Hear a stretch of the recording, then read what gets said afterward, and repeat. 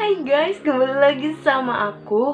Jadi di sini aku mau ngasih tahu ombre lips kesukaan aku. Gak kesukaan banget sih, maksudnya yang lagi sering aku pakai gitu. Jadi kalau kalian penasaran, please keep on watching. Oke tadi sebelumnya aku udah pakai lip balm supaya nggak terlalu kering gitu bibirnya. Ini udah aku pakein. Aku tadi pakai lip balmnya si The Body Shop ini yang rasa kayak wangi strawberry gitu. Enak banget. Terus langsung aja aku mulai ke ombre lipsnya oke untuk warna dasarnya aku pakai si Flora dulu. Ini Flora yang nomor 01 yang das dusty nude ini warnanya lebih ke coklat gitu. Coklat coklat hmm, bibir asli gitu kalau di aku ya mungkin kalau di kalian beda langsung aja aku pakai.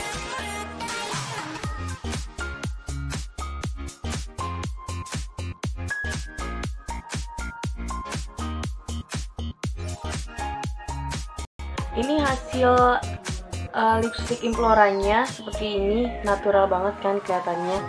Uh, lebih ke nude banget.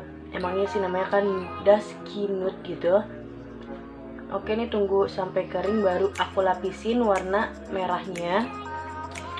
Untuk warna merahnya aku mau pakai si Wardah Wardah Exclusive Matte Lip Cream yang nomor 06 Feeling Red. Ntar aku kasih tahu uh, warnanya gitu. Oke ini udah langsung kering.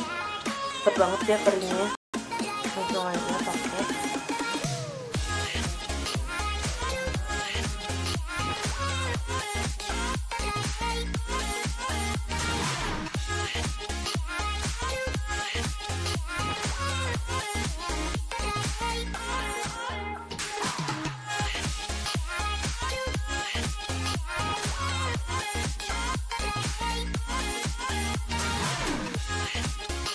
Oke ini hasil yang pertama yang menurut aku lumayan banget karena dia lebih cocok ke semua warna gitu ke kulit aku yang tan gini yang gak putih tapi lebih ke hitam gitu coklat lah ya.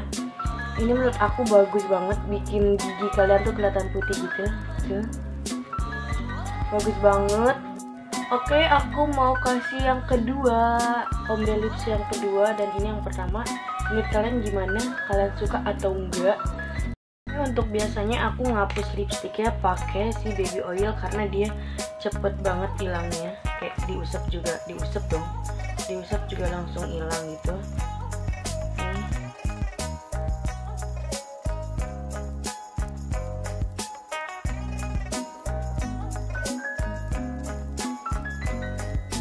kedua aku dasarnya pakai si Wardah Exclusive Matte Lip Cream yang nomor 03 See You Latte See You Latte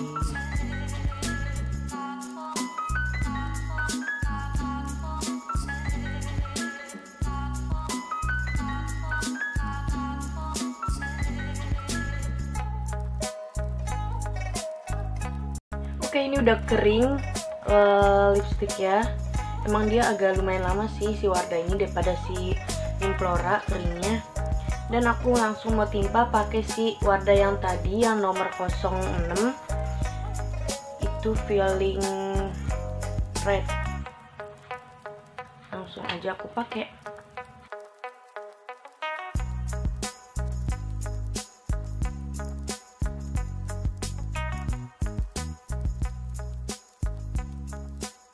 Oh ya ini tips yang bikin lipstick kalian gak habis-habis.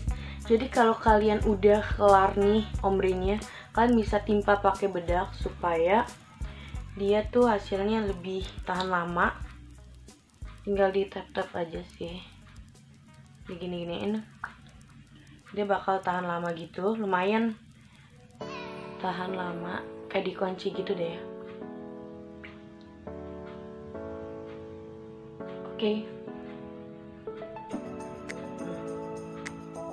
Itu adalah teknik yang menurut aku sih beneran ampuh supaya nggak uh, hilang-hilang gitu loh lipstiknya habis makan jadi kayak masih ada sedikit tuh.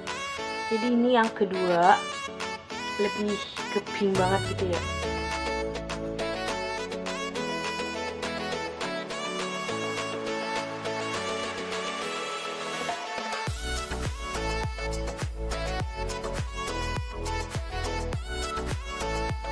Oke, okay, so videonya segitu aja. Kalau kalian suka sama video aku, jangan lupa di like, jangan lupa juga di hmm, subscribe, and di komen kalian mau bikin video apa lagi dari aku.